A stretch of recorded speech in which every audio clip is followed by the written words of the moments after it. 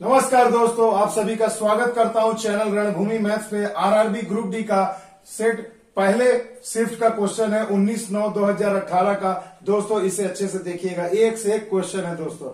सिर्फ़ एक नज़र और सभी चैप्टर कवर आइए दोस्तों, पहला क्वेश्चन देखिए सिंप्लीफिकेशन से सरल करो से कुछ भी नहीं करना है। सिंपल सा चीज़ है, देखिए ब्रैकेट के अंदर बॉडमास का रूल सबसे पहले पाँच से डिवाइड करिए तो कितना हो जाएगा? पाँच सत्य पैंतीस, यानी ये हो जाएगा माइनस सात और ये माइनस अठारह, यानी हो गया माइनस पच्चीस।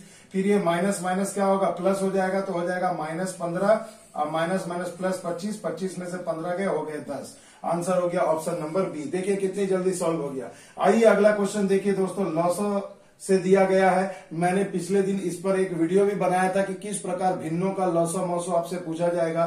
तो जो बच्चों ने नहीं देखा है उस वीडियो को तो ज़रूर जाकर प्लेलिस्ट में खोज कर देख ले दोस्तों, क्योंकि इससे रिलेटेड एक क्वेश्चन आपको आएगा ही और एक अंक आपका पक्का हो जाएगा। तो देखिए, चौदह को मैं क्या लिख सकता हूँ? दो गुने सात लिख सकता हूँ। बयालीस को क्या लिखूँगा? सात छह के बयालीस। और सतहत्तर को क्या लिखूँगा? ग्यारह गुणे सात। अब देखो, छह है तो छह को थोड़ा छोटा और कर लो तो मैं लिख सकता हूँ दो गुणा तीन। अब देखिए दोस्तों, लॉसो निकालना है तो लॉसो कैसे निकालने मैंने सिखाया है। जो मिलेगा उसे भी लिखना है और जो नहीं मिलेगा उसे भी लिखना है। तो मेरे बच्चों, देखो, दो यहाँ भी है, यहाँ भी है, यहाँ नहीं है तो मैं दो लिख दूँगा। सात है, यहाँ यहाँ यहाँ, तीनों जगह तो सात भी लिख देंगे। अब देखो, सिर्फ़ तीन है तो तीन यहाँ पर नहीं है मेरे बच्चों तो आप यहाँ पर तीन भी लिखोगे। और उसके बाद ग्यारह नहीं है तो ग्यारह भी लिखोगे। जो मिलेगा उसे भी लिखना है और जो नहीं मिलेगा उसे भी लिखना है। और जो मिलेगा हमेशा उसका अधिक पावर वाले को लिखना है। अब मेरे बच्चों, गुणा कर दो, सात छके बयालीस।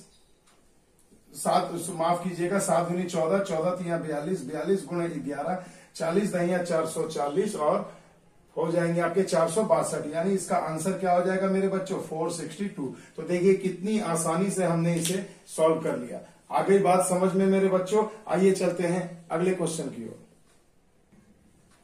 देखिए दोस्तों, बहुत ही मज़ेदार क्वेश्चन है। बिल्कुल अल्जेब्रा और सिंप्लीफिकेशन का ये कॉम्बो है। इसे अच्छे से समझिएगा। सर्ट्स और अल्जेब्रा का कॉम्बो है मेरे बच्चों। देखिए, कहा गया एक्स बराबर इतना और वाई बराबर इतना हो तो इस फैक्टर का मान निकाले। तो मेरे बच्चों, सबसे पहली एक चीज़ आइए हम आपको समझाते हैं यहाँ हमें क्या करना चाहिए। देखिए थ्री और थ्री कॉमन ले लेंगे तो यहाँ क्या बच जाएगा? X square plus y square हो जाएगा। और प्लस फाइव एक्स वाई को ऐसे ही रहने दो। उसके बाद देखो, यहाँ भी वही है थ्री कॉमन लूँगा तो हो जाएगा x square plus y square और माइनस फाइव एक्स वाई को आप यहाँ पर साइड में लिख सकते हैं। तो मेरे बच्चों, इतना तो हमने कर दिया। अब आइए, यानी हमें क्या करना है? X square plus y square का मान पता करना है और एक्स गुणे वाई का।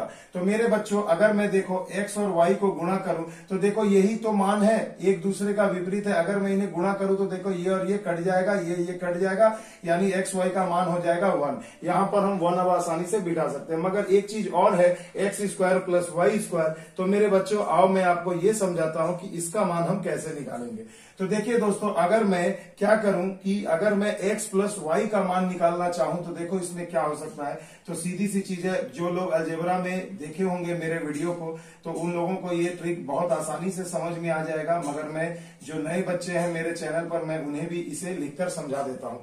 तो देखो मेरे भाई, x प्लस वाई का मान जब भी इस रूप में रहे, कि देखिए उसका उल्टा नीचे रहे, और फिर एक बार उसी को पलट के उल्टा करके लिख दिया जाए तो सिंपल सी चीज़ है। आपको एक सिंपल सा मैंने फॉर्मूला बताया था अलजेबरा में, उसे ज़रूर देखिएगा। कुछ भी नहीं करना, देखो दोस्तों, नीचे a square plus minus b square होगा, यानी रूट सिक्स का स्क्वायर सिक्स लिख दो और एक का स्क्वायर करके घटा दो, यानी कि छह में से एक गया पाँच। यहाँ तो क्लियर है लॉसो लेंगे। ऊपर में क्या होगा मेरे बच्चों? एक बार इसका होल स्क्वायर होगा प्लस इसका होल स्क्वायर होगा। यानी ए प्लस बी का whole square plus a minus b का होल स्क्वायर तो फॉर्मूला होता है two into a square plus b square तो ए स्क्वायर यानी रूट सिक्स का स्क्वायर बस सिक्स लिख दो प्लस बी स्क्वायर यानी वन का स्क्वायर तो देखो वन हो गया। आई बात समझ में इतनी सी चीज़। अब देखो क्या हो जाएगा? छह और एक सात सात दुनी चौदह चौदह बटे पाँच। तो देखो, x प्लस वाई का मान आ गया चौदह बटे पाँच।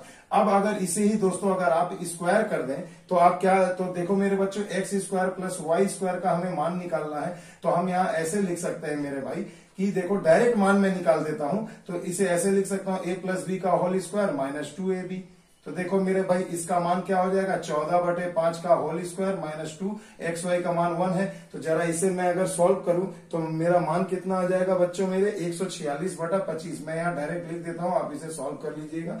तो देखिए, बहुत ही आसान है। चौदह का स्क्वायर एक सौ छियानवे, पच्चीस का स्क्वायर पाँच का स्क्वायर पच्चीस हो जाएगा, यहाँ पचास घट जाएगा, एक सौ छियालीस तो आएगा भरभरी अब इस मान को मेरे बच्चों, आप यहाँ पर बिठा लो। और यहाँ पर इसके जगह में वैल्यू को पुट कर लो सॉल्व कर लो। आपका आंसर आना चाहिए 563 बाई 313 इसे आप अच्छे से सॉल्व कर लेना, ये बहुत ही इंपॉर्टेंट सवाल है। तो देखिए दोस्तों, अगर मैं कुछ ट्रिक को अगर याद रखू तो मेरा ये जो इतना लेंदी सवाल है, ये बहुत कम समय में और सटीकता से बन जाएगा। तो आशा करता हूँ आपको ये मेथड समझ में आया होगा। तो जिन बच्चों को अगर इसमें दिक्कत हुई होगी तो वो सिंप्लीफिकेशन टॉपिक को मेरे प्लेलिस्ट में जाकर ज़रूर देखें। चुटकियों में समझ में आएगा। आइए चलते हैं अगले क्वेश्चन की ओर। देखिए मेरे बच्चों, बहुत ही मज़ेदार क्वेश्चन है और इसका मैं एक बार पहले भी धासु ट्रिक बता चुका हूँ, इस बार भी बताऊँगा, ध्यान से देखना। याद कर लो मेरे भाई, मेथड एकदम ऐसे ही सवाल आपको एग्ज़ाम में मिलेंगे।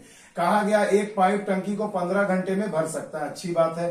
मगर टंकी में जब रिसाव होगा ना बच्चों तो टंकी भरने में बीस घंटा लगता है। यानी पाँच घंटा एक्स्ट्रा समय लग रहा है। तो पूरे टंकी को खाली अगर करे रिसाव के द्वारा तो उसे कितना समय लगेगा? तो कुछ भी नहीं करना है बच्चों। देखो, ये समय दिया है, पंद्रह लिख दो, गुणे में ये समय दिया है होल के साथ कितना समय लग रहा है? बीस घंटा। और क्या करो, नीचे इन्हीं दोनों का माइनस कर दो। बस पाँच सेकंड में आंसर आ गया। देखो, पंद्रह दूनी तीस, तीन सौ बटे पाँच पाँच सेकेंड तीस, ज़ीरो यानी कि साठ घंटा आपका जवाब हो गया। आया मज़ा मेरे दोस्तों। देखिए, कितना शानदार तरीका है मेरे बच्चों। सेकंड भी नहीं लगेगा। चुटकियों में आपका सवाल हल हो जाएगा। आइए अगले क्वेश्चन की ओर। देखिए मेरे बच्चों क्वाड्रेटिक इक्वेशन द्विघात समीकरण से अब क्वेश्चन आने लगा है। पिछले सेट में नहीं था, अब इधर से आना लगा है। तो इसे भी अच्छे से सीखिएगा और इस पर भी एक फुल कंसेप्टिव वीडियो बनाऊँगा दोस्तों, उसे देखना ना भूलिएगा। देखिए दोस्तों अल्फ़ा तथा बीटा समीकरण इसके मूल है तो टू इंटू अल्फ़ा बीटा बटे अल्फ़ा प्लस बीटा का मान क्या होगा? तो मेरे बच्चों, देखो, जब भी एक द्विघात समीकरण है और अल्फ़ा बीटा उसके मूल है ना तो हमेशा याद रखना अल्फ़ा प्लस बीटा यानी मूलों का योगफल का मान होता है माइनस बी बाई ए अगर मैं ऐसे एक स्टैंडर्ड क्वाड्रेटिक इक्वेशन लिखू, देखो a x square plus b x plus c बराबर ज़ीरो ये एक स्टैंडर्ड क्वाड्रेटिक इक्वेशन होता है। तो देखो ए की वैल्यू क्या है? तो फाइव प्लस रूट टू तो यहाँ पर बिठा दो भैया five plus root two b की वैल्यू क्या है? इक्वेशन प्लस में होना चाहिए तो बी की वैल्यू एक्स वाले के बगल में जो गुणज रहता है, उस वो होता है। यानी फोर प्लस रूट फाइव लिख दिया हमने, मगर देखो यहाँ प्लस होना चाहिए इक्वेशन मगर यहाँ माइनस है तो यानी कि यहाँ मान क्या होगा? माइनस हो जाएगा। तो जब माइनस होगा मेरे बच्चों माइनस मान, और ये वाला माइनस ऑलरेडी रहेगा तो ये माइनस माइनस क्या हो जाएँगे मेरे बच्चों? प्लस हो जाएगा। इसलिए मैं यहाँ से देखो निशान हटा देता हूँ। इसे अच्छे से समझना। तो ये अल्फ़ा प्लस बीटा का मान आ गया। अब अल्फ़ा इंटू बीटा मूलों का गुणनफल क्या होता है मेरे बच्चों? सी बाई ए होता है। सी बाई ए सी यानी के अंतिम वाला फैक्टर यानी कि eight plus two root five, ये टर्म हो जाएगा सी, और ए का मान आपको पता ही है, फाइव प्लस रूट टू। अब इन दोनों मानों को दिए गए व्यंजक का मान में बैठा दीजिए, आपका आंसर आ जाएगा मेरे भाई। क्या करना है? देखो, टू इंटू अल्फ़ा बीटा बटे में अल्फ़ा प्लस बीटा है तो टू इंटू अल्फ़ा बीटा का मान क्या निकाला है मेरे बच्चों? हमने जो निकाला है, इसे लिख देता हूँ, eight root two five, two root five, अब बटे में हो जाएगा फाइव प्लस रूट टू, यहाँ हमने लिख दिया। अल्फ़ा प्लस बीटा का मान क्या होगा मेरे बच्चों? फोर प्लस रूट फाइव, बटे में फाइव प्लस रूट टू। तो देखो, five plus root two, five plus root two cut जाएगा। यहाँ से दो कॉमन ले लेंगे तो दो गुणा दो हो जाएगा। यहाँ क्या बचेगा? Four plus root five. और नीचे तो आपका already four plus root five है ही। तो देखो, ये ये कट गया दो दूनी चार। यानी इस दिए गए व्यंजक का मान आपका क्या आएगा मेरे बच्चों? चार आएगा। आ गई बात समझ में? देखो भैया क्वाड्रेटिक इक्वेशन में कुछ नहीं है। अगर आपको बेसिक कंसेप्ट बेसिक दो फॉर्मूला ये पता है, आप किसी भी प्रकार के सवाल को हल कर सकते हैं। इस पर मेरा वादा है दोस्तों, एक फुल वीडियो बहुत जल्द लेकर आऊँगा एग्ज़ाम के पहले ही, ताकि आपको एक छोटे से वीडियो में पूरा का पूरा कंसेप्ट सिखा सकूँ। आइए चलते हैं अगले क्वेश्चन की ओर। देखिए दोस्तों, बहुत ही सिंपल सा क्वेश्चन दिया था टाइम एंड वर्क से 200 आदमी किसी भवन को हज़ार चौबीस दिन में बनाते हैं तो सिंपल लिख दो 200 सौ गुणे हज़ार चौबीस। ये हो गया कुल काम। अब कहा गया है दो, सौ छप्पन दिन में इसी भवन को बनाने के लिए कितने आदमी लगेंगे? तो मेरे बच्चों मान लिया एक्स आदमी लगेंगे। देखो ये मैन है ये डे है तो ये भी मैन होगा ये भी डे होगा। इसे टू टू कर दे रहा हूँ इसे वन वन ये ट्रिक मैंने बताया था ना फॉर्मूला आपको। तो देखिए यहाँ पर दो सौ छप्पन दिन आपको दिया गया तो पूछा गया कितने आदमी लगेंगे। इसी एक्स का तो मान हमें निकालना है। तो सिंपली इसे सॉल्व कर लो दो सौ गुणे हज़ार चौबीस और बटे में क्या हो जाएगा? दो सौ छप्पन, चार से कटा दो, चार पंजे बीस, ज़ीरो, चार छके चौबीस और चार चौके सोलह चौसठ आ गया। अब देखो मेरे भाई, क्या हम इसे डायरेक्ट कटा सकते हैं? तो जरा सा देखिए, अगर चौसठ है तो चौसठ से मैं यानी इसे चार से कटा सकता हूँ। तो देखो, ये भी कटना चाहिए। तो देखो, चार दूनी आठ, चार पंचे बीस, चार छके चौबीस। और यहाँ देखो, चार से कट गए सोलह बार में। अब जरा सा देखिए मेरे भाई, ये क्या होता है? सोलह का, सोलह से ये कितने बार में कटेगा मेरे भाई? तो जरा सा मैं देखता हूँ। तब देखो 16 का स्क्वायर दो सौ छप्पन होता है, यानी कि ये क्या हो जाएगा? 16 से 16 बार में कट जाएगा। 16 पचे 80 और ये ज़ीरो 800 यानी कुल कितने लोग लगेंगे मेरे बच्चों? 800 लोग लगेंगे। आगे है ना मज़ा? आओ एक क्वेश्चन और देखो। देखिए दोस्तों टाइम एंड वर्क से एक और क्वेश्चन याद रखिएगा। अभी तक दो क्वेश्चन आ चुके हैं। बहुत ही ज़बरदस्त ऐसा एक क्वेश्चन आपको हर एग्ज़ाम में देखने को मिलेगा। कहा गया है, कुलदीप और आगरकर दो लोग हैं जो अलग अलग एक खेत को आठ घंटे और बारह घंटे में काट सकते हैं, खेत के फ़सल को। तो मान लो भैया, ये कुलदीप है और मान लो ये आगरकर है, ये आठ घंटे में काट सकता है और ये बारह घंटे में, यानी ये टाइम है। तो मेरे बच्चों इफिशियंसी निकाल लो। तो कुल काम हम निकाल देंगे। मेथड याद हो गया होगा। तो दोनों का ले लो, कुछ भी ले लो। ऐसा संख्या जो दोनों काट सके तो चौबीस ले लिया। तो आठ तिया चौबीस और ये हो गया बारह दूनी चौबीस। तो देखो इफिशियंसी भी हमने निकाल दिया कहा जा रहा है अगर वे दोनों एक एक घंटा कार्य करे, यानी कि एक घंटा कुलदीप काम करे तो फिर अगले घंटे में अगर कर अगर कार्य करे तो ऐसे कार्य करे और नौ बजे घड़ी के नौ बजे सुबह कुलदीप ने कार्य करना आरंभ किया तो बताए कार्य कब खत्म होगा। यानी कि घंटा नहीं पूछ रहा, घड़ी का समय आपसे पूछ रहा। ऑप्शन मैंने यहाँ लिखा नहीं है। तो घंटा निकालेंगे तभी तो इसमें जोड़ के हम समय निकाल पाएँगे मेरे बच्चों। तो हमें ऑटोमेटिकली क्या करना है? अल्टीमेटली हमें घंटा ही निकालना है। तो देखो मेरे बच्चों, यहाँ पर हम क्या करेंगे? सबसे पहले देखो, एक घंटे में कुलदीप कितना काम करेगा? तीन। और एक घंटे में आगरकर कितना काम करेगा? दो। तो दोनों का दो घंटे का कार्य दो घंटे का कार्य क्या होगा मेरे बच्चों? तीन प्लस दो बराबर पाँच। यानी कि चौबीस काम करना है और जिसमें से दो घंटे में ये लोग पाँच काम कर देते हैं। तो अब मैंने ट्रिक क्या बताया था कि ये पाँच घंटा, पाँच काम जो आया है, इसके करीब जाओ। तो देखो, अगर छह से गुना करो तो छह पंचे तीस हो जाएगा, काम ही है चौबीस। तो मैं पाँच से गुणा करूँ तो पचे पच्चीस हो जाएगा, ज़्यादा हो जाएगा।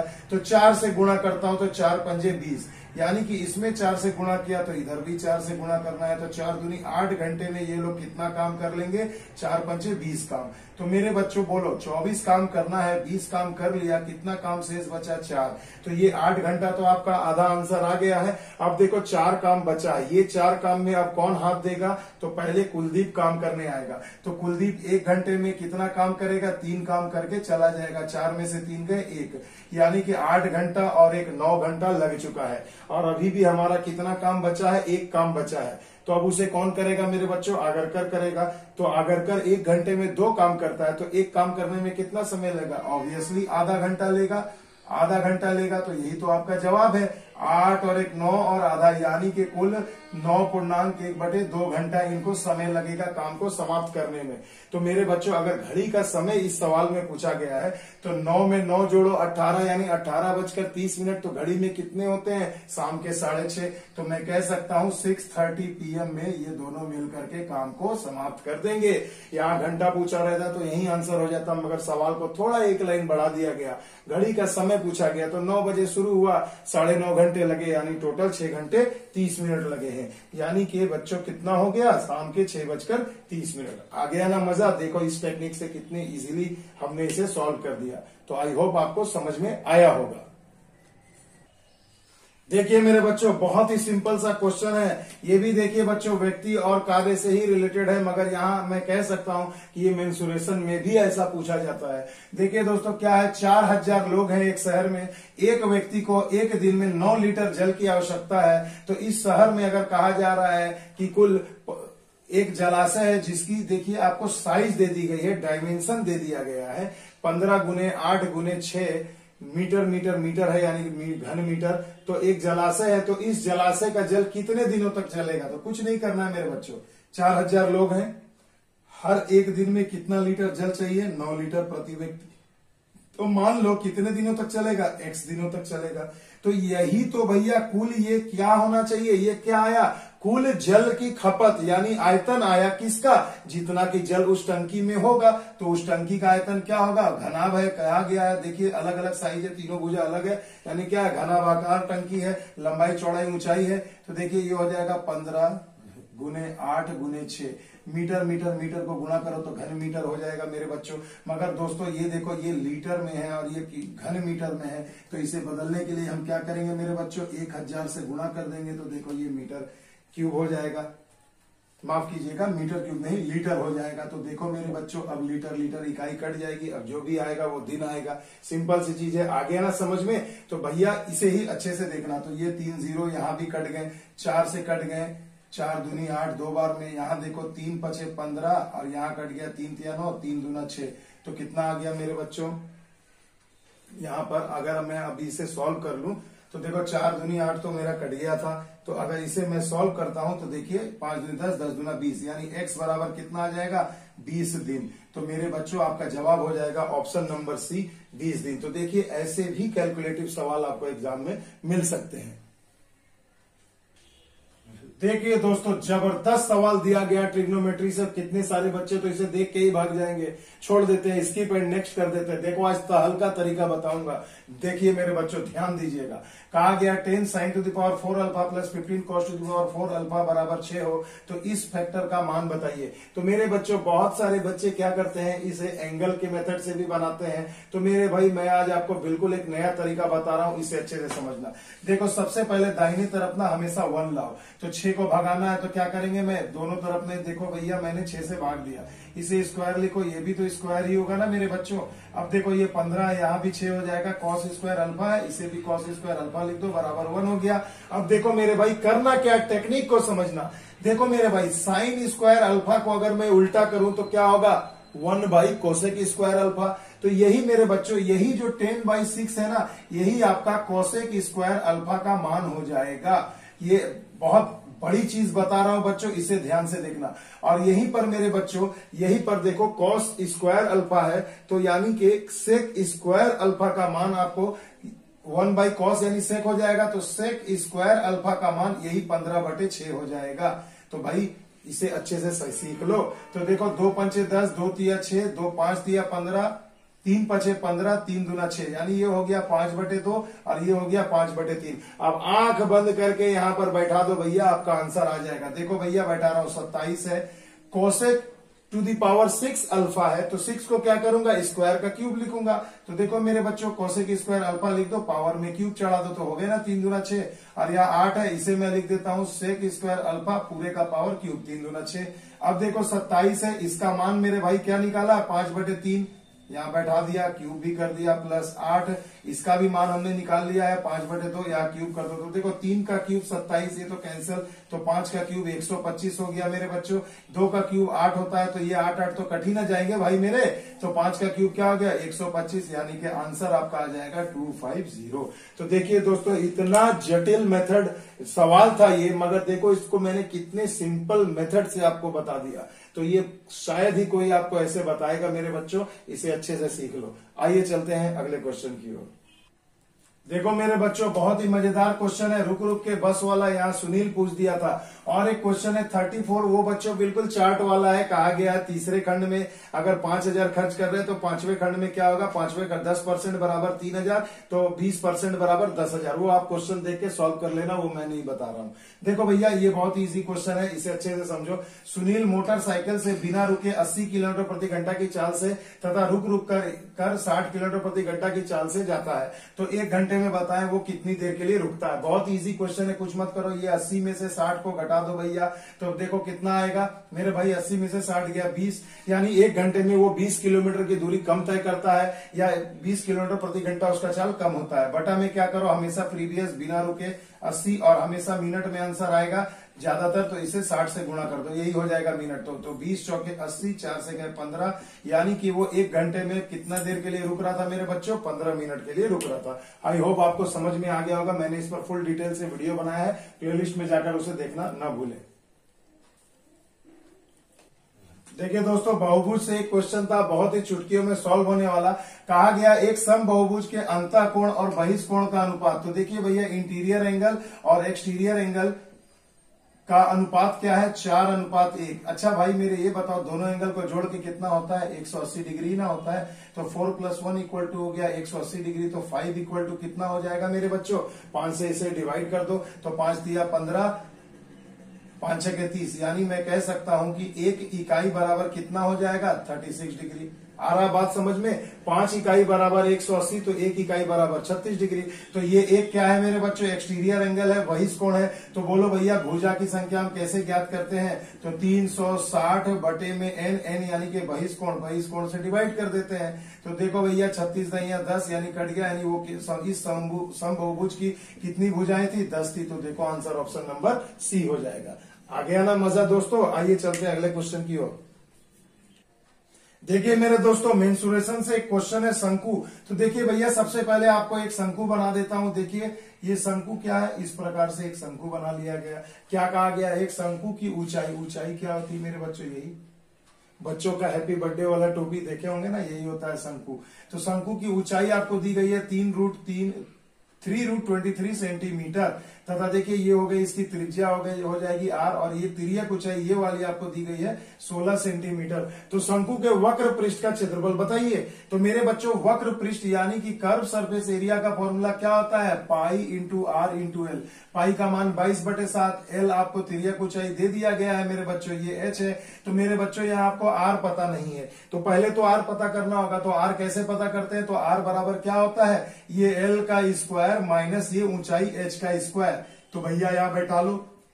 सोलह का स्क्वायर और एच हो जाएगा three root under twenty three का स्क्वायर तो भाई जरा इसे क्या करेंगे? आइए जरा सा सॉल्व करते हैं। सोलह का स्क्वायर कितना आता है? दो सौ छप्पन। और यहाँ पर कितना हो जाएगा? भाई तीन का स्क्वायर नौ और तेईस। गुणा कर दो तो हो जाएँगे दो सौ सात। यानी रूट अंडर फोर्टी नाइन यानी कि सेवन यानी कि मेरे बच्चों, त्रिज्या हमें आ गई है, ये सात सेंटीमीटर होगा। तो जब त्रिज्या हमें सात सेंटीमीटर मिल गई है तो पाई आर एल में बैठा दो। तो पाई यानी बाईस बटे सात, आर यानी कि सात, और एल कितना था आपका? सोलह सेंटीमीटर सात सात कट गए, गुणा कर दीजिए। तो गुणा करने से कितना आ जाएगा? थ्री फाइव टू वर्ग सेंटीमीटर। तो देखो मेरे बच्चों, ये हो गया वक्र पृष्ठ की त्रिज्या। तो देखिए कितने सिंपल तरीके से हमने इसे सॉल्व कर लिया। आइए चलते हैं अगले क्वेश्चन की ओर।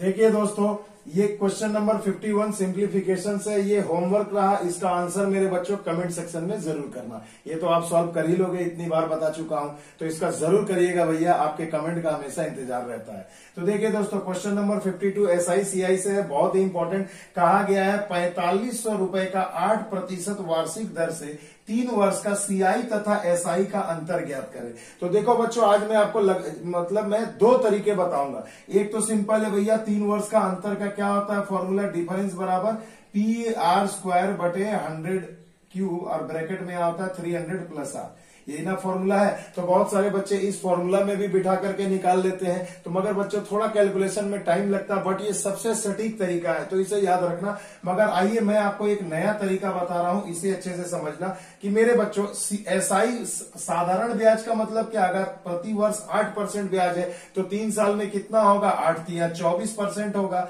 और यही अगर सीआई में मैं निकालू तो सीआई में निकालने का क्या तरीका है? देखो, आठ परसेंट दर है तीन साल का तो तीन से गुणा कर दो, कितना हो गया? आठ तरीके चौबीस। और फिर यही चौबीस और आठ को गुणा कर दो तो कितना हो जाएगा? आठ चौके बत्तीस, आठ दूनी सोलह और तीन उन्नीस। और उसके बाद क्या करो? दो अंक के बाद दसमलव दे दो। तो भैया, ये देखो, लगभग हो जाएगा चौबीस और एक पच्चीस पॉइंट नाइन सेवन समथिंग होता है। तो ये नाइन टू आ रहा है यहाँ पर, मगर लमसम में आपको लगभग इतना मिल जाएगा। यानी कि देखो मेरे भाई, सीधी सी बात है कि ये हुआ आपका 24 परसेंट और ये हुआ पच्चीस दशमलव नौ दो। तो कितना अंतर हो रहा है मेरे बच्चों? घटा लो तो देखो 1.92 परसेंट। अब क्या करो? यही जो पैंतालीस सौ रुपए है ना, इसी का 1.92 परसेंट के आसपास निकाल दो और लम सम में आपको आंसर यहाँ पर मिल जाएगा। तो देखो मेरे भाई, मैंने यहाँ पर कटा दिया। अब जरा सा मैं इसे गुणा कर दू। तो 192 में अगर 45 से गुणा करूँ तो क्या होगा? पाँच दूनी दस, पाँच का पैंतालीस एक छियालीस। हासिल चार, पाँच एकम पाँच, चार नौ, चार दूनी आठ, चार नौ, छत्तीस के छह हासिल रहे। तीन, चार एकम चार, तीन, सात। अब देखो मेरे बच्चे, आठ से चौदह, नौ से पंद्रह और एक सोलह, सात और एक आठ। यानी कि मेरे बच्चों, देखो, यहाँ माफ़ कीजिएगा, यहाँ सेवन होगा, क्षमा करें। 2.972 के आसपास होता है। अगर ये वाली वैल्यू आपको याद रहे तो सात से गुणा कर लेना तो यहाँ गुणा थोड़ा चेंज हो जाएगा। तो आपका आंसर यहाँ पर आ जाएगा मेरे बच्चों 88.70 तो देखिए बच्चों, ये जो दो तरीका मैंने आपको समझाया, इसे अच्छे से समझिए। या तो फॉर्मूला में डायरेक्ट पुट करके थोड़ा कैलकुलेटिव होगा, मगर बिल्कुल एग्जैक्ट आंसर आएगा। और अगर थोड़ा और जल्दी आप इसे बनाना चाहते हैं तो देखिए भैया, ये जो मैंने तरीका बताया लम सम में आप इसका निकाल लेना। तो याद रहना चाहिए, पच्चीस दशमलव नौ सात समथिंग होता है इसका वैल्यू तो नौ सात अगर मैं करूँगा, थोड़ा डिजिट बढ़ जाएगा, यहाँ छियासी की जगह अठासी पॉइंट सेवन ज़ीरो आ जाएगा। इसे आप चेक कर सकते हैं। तो देखिए, इस तरीके से भी हम लोग इसे आसानी से सॉल्व कर सकते हैं। आइए चलते हैं अगले क्वेश्चन की ओर। देखिए दोस्तों बहुत ही ज़बरदस्त सवाल है। बच्चे ऐसे सवाल देखकर घबरा जाते हैं परीक्षा में। घबराने वाली कोई बात नहीं है क्योंकि आपका साथ में कौन खड़ा है दोस्तों? रणभूमि मैथ्स। देखिए दोस्तों कहा गया x1, x2, x3 x three dot dot dot x n का अंक गणितीय माध्य कितना है मेरे बच्चों? एक। तो x1 one by k comma x two by k dot dot dot x n by k का माध्य बताएँ यदि k का मान ज़ीरो से बड़ा है। तो देखो मेरे बच्चों कुछ भी नहीं करना। अगर आप इसका एवरेज निकालोगे तो क्या आएगा मेरे बच्चों? तो देखिए मैं आपको बिल्कुल बेसिक तरीका समझाता हूँ। अगर मैं इन स, इसका अगर मैं एवरेज निकालू ऊपर वाले दिए गए सीरीज़ का तो क्या होगा? सभी को जोड़ करके एन तक जो गए हैं तो एन से डिवाइड करेंगे, यानी टोटल आ जाएगा एन गुना एक, यानी कि एन तो इसमें क्या करना है? कुछ नहीं करना है मेरे बच्चों, देखो, अगर इसका औसत एक है तो मैं एक लिख दिया, मगर अब देखो इन्हीं संख्याओं में चेंजेस देखो, यहाँ सभी संख्या में के से भाग दिया गया है। तो ज़ाहिर सी बात है एवरेज में भी के से भाग ही जाएगा। तो यहाँ पर आपका आंसर क्या हो जाएगा? One by k option number c तो देखा आपने, कितने चुटकियों में हमने इसे सॉल्व कर दिया, और यहाँ पर बच्चे घबराते हैं ऐसे क्वेश्चन को देखकर। आइए चलते हैं अगले क्वेश्चन की ओर। देखिए दोस्तों, बहुत ही सिंपल क्वेश्चन है। क्वेश्चन नंबर 56 कहा गया है कि कि one zero eight nine double zero का वर्गमूल। तो मेरे बच्चों सिंपल सी चीज़ वर्गमूल आपको याद होना चाहिए। मैं तो अपनी जब मैं ऑफलाइन क्लास कराता हूँ, उसमें मैं बच्चों बच्चों को लगभग 35-40 तक के वर्गमूल याद करा देता हूँ। तो देखिए, अगर आप ध्यान दे तो 1089 क्या है मेरे बच्चों? 33 का वर्ग है, यानी कि इसका वर्गमूल 33 हो गया। और यहाँ दो ज़ीरो है तो एक ज़ीरो बाहर आ जाएगा, यानी कि 330 इसका आंसर हो जाएगा। और अगर दोस्तों, अगर आपको इससे भी बड़े बड़े संख्याओं का वर्गमूल और घनमूल निकालना है तो मेरे प्लेलिस्ट में जाकर वर्गमूल तथा घनमूल को ज़रूर देखें। पंद्रह मिनट का वीडियो है, मगर उस वीडियो से जीवन भर आप वर्गमूल और घनमूल चुटकियों में निकालना सीख जाओगे। आइए चलते हैं अगले क्वेश्चन की ओर। क्वेश्चन नंबर 63 में देखिए मेरे बच्चों, इसमें कहा गया है कि x four seven three eight है। अगर ये संख्या 9 से विभाज्य है तो x के स्थान पर क्या होगा? तो 9 से कटने का नियम सिंपल है, सभी अंकों को जोड़ के देखो 9 से कट रहा है कि नहीं।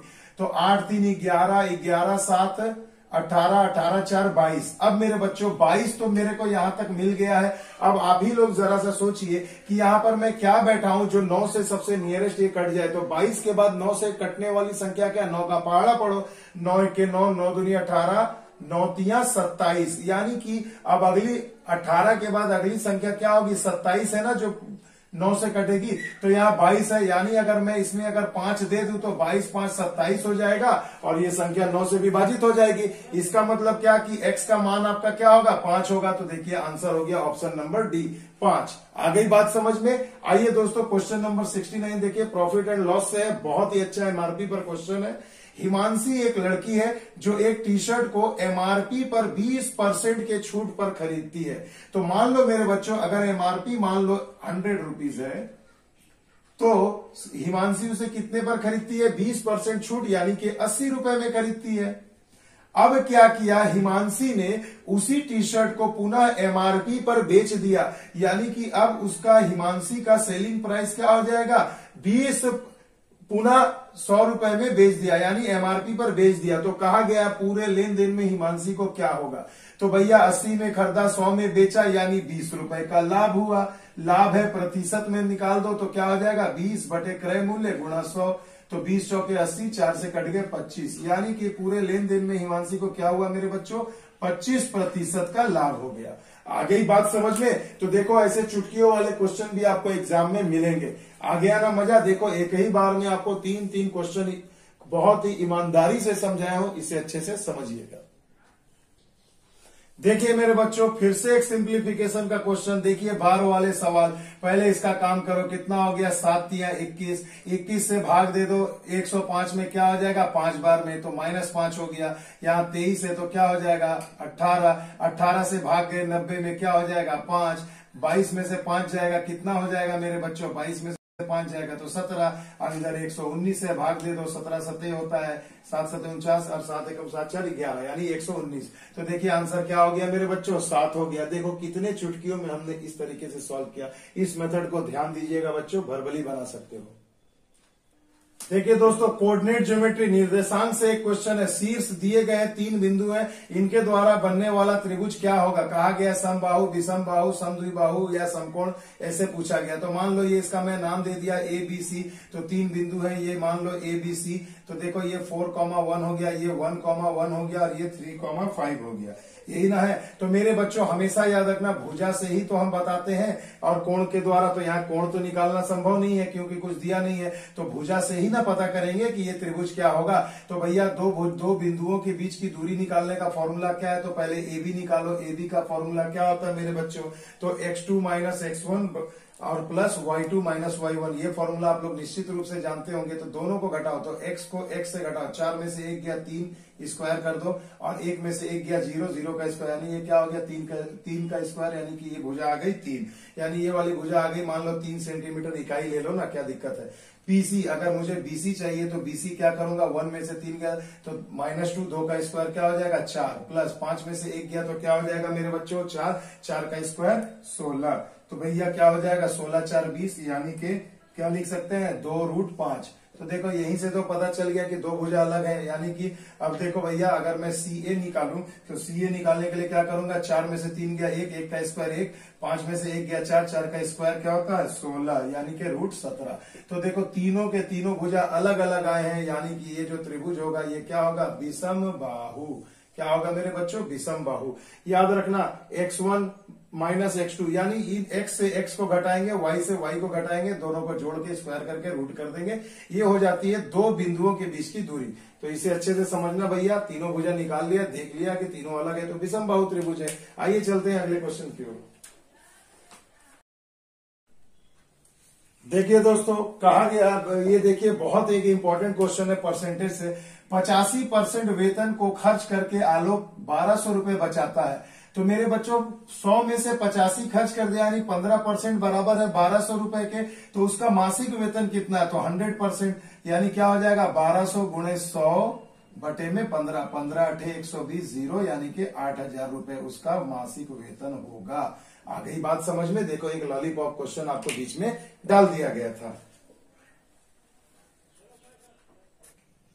देखिए दोस्तों क्वेश्चन नंबर 88 लिखने में बहुत बड़ा था, इसलिए मैंने आपको सोचा कि पढ़ के और डायग्राम बनाते हुए समझाऊं तो आपको एक ही बार में समझ में आ जाएगा। कहा गया है ए बी सी एक त्रिभुज है और डी ई एफ़ देखिए मेरे बच्चों, ध्यान दीजिएगा डी ई और एफ़ ये कहा गया है कि ये तीनों इसकी मध्य बिंदुएँ हैं। तो डी ई एफ़ मध्य बिंदु हो गए दोस्तों। अब चलिए जरा मैं इन्हें मिला देता हूँ तो देखिए एक त्रिभुज बन गया। अब कहा जा रहा है कि जो बीई है बीई जो है, वो और सी एफ़ जो है, वो दोनों एक दूसरे को काटते हैं। तो देखिए, कहा जा रहा है बीई और सी एफ़ चलिए, मैं इन्हें मिला देता हूँ। तो ये दोनों आपस में एक दूसरे को काटते हैं। तो देखिए, कहीं ना कहीं ये डीएफ और डीई को भी तो काट रहा है। तो मान लो, यहाँ दिया गया इसका मान एक्स है और ये बिंदु का मान है वाई। तो कहा जा रहा है कि इस एक्स वाई का मान बताएँ और आपको चार ऑप्शन दिया गया है। तो मेरे बच्चों, एक सिंपल सी चीज़ है। यहाँ पर चलिए, मैं आपको ऑप्शन यहाँ पर मैं लिख करके दे देता हूँ। कि एक्स वाई का जो मान पूछा गया है, ये एक्स वाई का जो मान पूछा गया, ये बीई के रूप में आपसे पूछा गया है। एक बार बीसी के रूप में पूछा गया है तो एक बटा दो बीसी दो बटा तीन बीसी और उसके बाद आपको मान दिया गया, एक बटा चार बीसी या एक बटा तीन बीसी यही आपको चार ऑप्शन दिए गए हैं मेरे बच्चों। तो ये चारों ऑप्शन में कौन सा सही होगा? तो देखिए, एक सिंपल सी चीज़ है। हम लोग बेसिक फॉर्मूला भी जानते हैं दोस्तों कि जब मैं ज्योमेट्री में मैंने आपको बताया भी है, जो बच्चे नए हैं मेरे चैनल पर, वो ज्योमेट्री जाकर के ज़रूर देखिएगा मेरे बच्चों।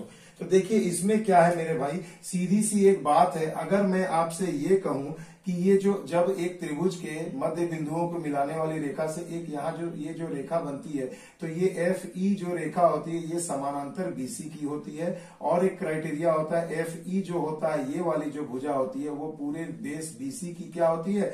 आधी होती है। तो मैं कह सकता हूँ एफ़ ई बराबर बीसी बटे में दो। आ गई बात समझ में?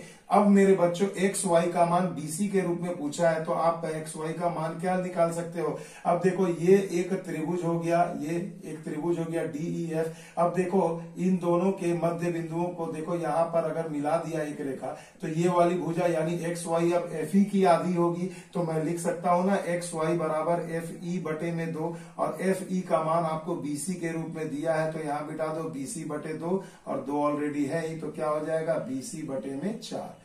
तो भाई, क्या आंसर आ जाएगा? आपका आंसर हो जाएगा ऑप्शन नंबर सी बीसी बटे में चार। आ गई बात समझ में? तो देखो, ये क्वेश्चन इस प्रकार से दिया था। ये थोड़ा हो सकता है पढ़ के बच्चों को डायग्राम बनाने में दिक्कत हो, इसलिए मैंने क्वेश्चन को पढ़ते पढ़ते डायग्राम बनाया, ताकि आप सुन के सवाल को डायग्राम बनाते हुए देखकर इसे अच्छे से पूरी चीज़ को समझ जाए। आइए दोस्तों, अगले क्वेश्चन की ओर।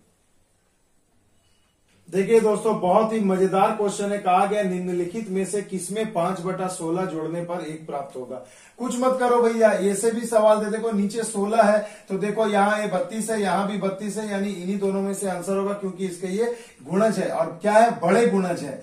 तो याद रखिएगा, बस सिंपल सा करना है। बाईस बटा बत्तीस ले लिया। जरा सा मैं जोड़ करके चेक कर लेता हूँ। तो देखो, ये क्या हो जाएगा? बत्तीस ही होगा। बत्तीस एक यानी बाईस। और सोलह दूनी, यानी दो पंचे दस। तो देखो, बत्तीस बटा में बत्तीस कट के क्या आ गया? एक। यानी कब आया? जब हमने 22 बटा बत्तीस में पाँच बटे सोलह को जोड़ा। तो बच्चों, चलिए, बहुत अच्छा सेशन रहा। आई होप आप लोगों को मज़ा आएगा इस वीडियो में, ठीक है? तो चलिए, अगले दिन फिर मिलते हैं नए सेट के साथ। तब तक के लिए दोस्तों, ढेर सारा प्यार दीजिएगा मेरे इस वीडियो को। बहुत एक से एक ज़बरदस्त क्वेश्चन आए हैं। तो मिलते हैं अगले वीडियो में। तब तक के लिए जय हिंद, जय भारत।